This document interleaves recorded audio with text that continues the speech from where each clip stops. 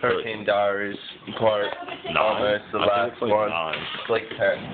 But last night, guys missed the storm. It was too bloody to film. So what we did, we're giving you guys the privilege of letting us, of seeing us pack up. Well, you got it from the. Uh, all right. That's all. Come back. That see that?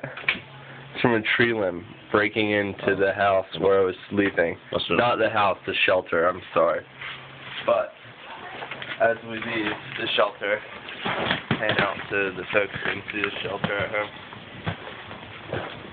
It's a great shelter. We did lose Mallory, but that's a negligible loss at this point. Mallory, negligible. Jinx is alive. Jinx is alive. That's the only thing that counts. My mom lost her voice. She her vocal cords were snapped by a tree branch. So take it how you may, but maybe a blessing in disguise. Oh my goodness. My car got stampeded on.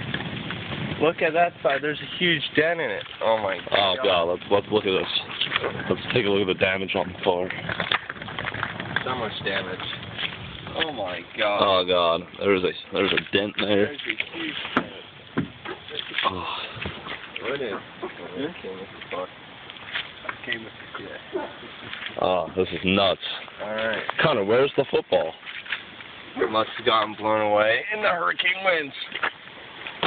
You got it right there. Yep, we got it. And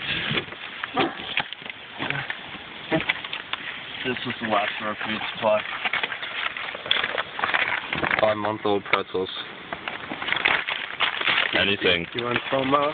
Tasty. You want to throw them away? In case we get stuck on the way back, Yeah. we might have to eat them pop Yeah, up. you might. You might Might. to. Uh, Memories of childhood and summer that was.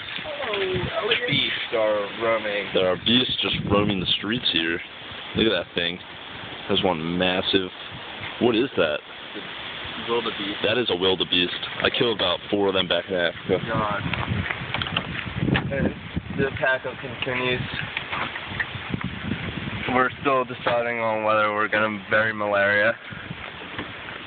We might just feed her to the wildebeest so he leaves us alone.